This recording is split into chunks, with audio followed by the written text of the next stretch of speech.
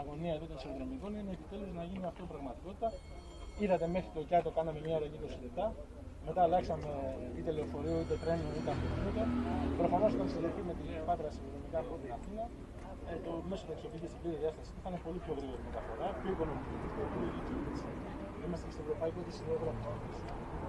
Εδώ είναι οι εγκαταστάσεις στα μεσαία, θα τι δούμε στα